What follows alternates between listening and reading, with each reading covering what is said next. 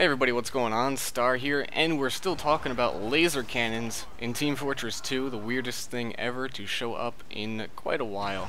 That is getting a lot of attention, a lot of people are hating on the game, once again, as they do with every update.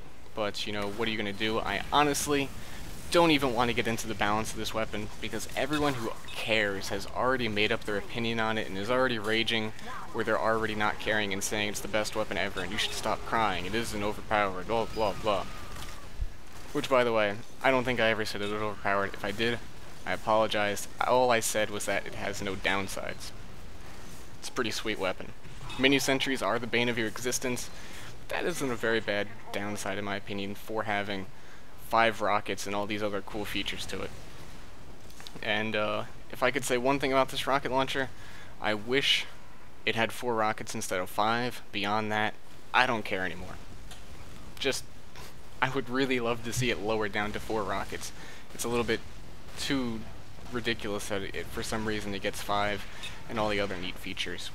Also, two things to note about it. Yes, Pyros can air blast these. I don't know why people are thinking they wouldn't be able to. They are rockets. Just think of them as blue rockets or red rockets or whatever. It's the same thing. Pyros can air blast them. They have the exact same properties of a rocket. It reloads just as fast as a rocket launcher. They shoot just as fast as rockets. Trust me, they do.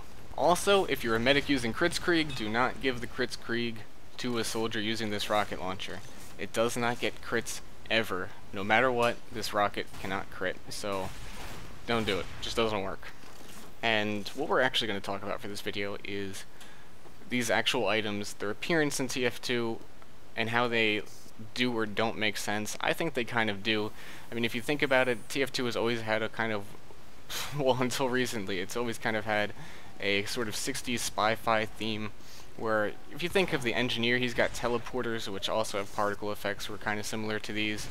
Uh, you've got the spy with the Inviswatch. Some of this stuff is quite futuristic, but it is still retro in a way, where it still feels like it fits within the realm of TF2, and that, you know, something like this isn't too like far-fetched and ridiculous. It's kind of new for the soldier to have something like this, but other characters in the cast have always had these sort of things, much like engineers have teleporters. So they fit in decently well, I think, if you kind of think of it that way. Uh, they look phenomenal. The models probably have the highest polygon counts of any of the weapons in the game at this point. Uh, probably only rivaled by the Sydney Sleeper, which has uh, an unnecessary amount of them. But there's clearly a lot of work put into these. They have their own firing animations, particles, bullets. They have their own death animations. They have their own reload animations. Things like the lock and load have had the same reload animation as the grenade launcher, and the grenade launcher's reload animation doesn't even make any sense to begin with. So it's kind of nice to see this kind of attention paid to these new items. They very clearly took a lot of time and a lot of love was put into these both of them all have very, very unique properties which we have not really seen in TF2 for quite some time.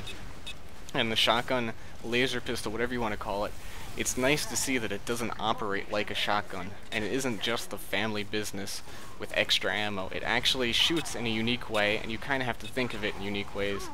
And I've really been enjoying this gun. Um, unfortunately not showing it off a lot in this gameplay because I have five rockets and I don't really ever need to switch off my primary. But I've got it. It's there. Uh, for now, I think this rocket launcher is better suited to work with something like the buff banner at the moment. Uh, and then just go to town with your five rockets once you've got the buff banner set up. You also gain buff banner from people going on fire from charge shots. So you can build it up a little bit quicker that way. And here is one more round. I do something pretty cool here which uh, you can turn into Iron Man and shoot chest laser cannons at people. So blast that across the screen, hit somebody with a direct rocket. That's pretty cool. If you just taunt while you're charging, that's all that that is. It's pretty funny. Quite enjoyed it. So, you may be wondering at this point, what is this in promotion for? I've heard a lot of people saying, you know, I don't get this. What, like, what game are they trying to sell us now? And they're not actually trying to sell us anything, really. It's just kind of uh, a collaboration between Valve and Weta Workshop, which is a company which makes uh, sculptures and models for uh, movies and sets and that sort of thing. Has a lot of cool concepts, and designs, and probably in promotion just so you can look at the, their workshop. There are a lot of things you can buy from there, but more or less, it doesn't really feel like they're trying to sell us anything. It just feels like they want it to work together, and it's quite cool. That uh, Workshops has a lot of very, very stylish, well-done uh, designs. You can check out their website if you're interested, but they do have a Dr. Grordbort's, or whatever the heck the name of the doctor thing is that this whole crash landing thing is named after. They have a series of ray guns on their website that are much like the ones that have been added in here which are kind of of the same conceptualizations, designing. It's quite cool. I, I spent a little while looking through there. So I guess it did work, and it was promoted to me. So it worked. Good job, Valve. Uh, of course, I'm not going to buy a $4,000 model of a ray gun. Though, if you were a super conspiracy theorist, uh, of course, you can go over there and check out some of the, the ray guns and think what new weapons are going to be added to the game, because I highly doubt that this is the last we're going to see of this little Weta Workshop cross-promotion thing going on right now. There were, of course, three rockets that were shown uh, on the various maps before this one was released. The soldier did find uh, these weapons within one of the rockets, so we could probably expect two more sets of items Maybe more, maybe less, maybe I'm conspiracying too much and nothing's gonna happen. But,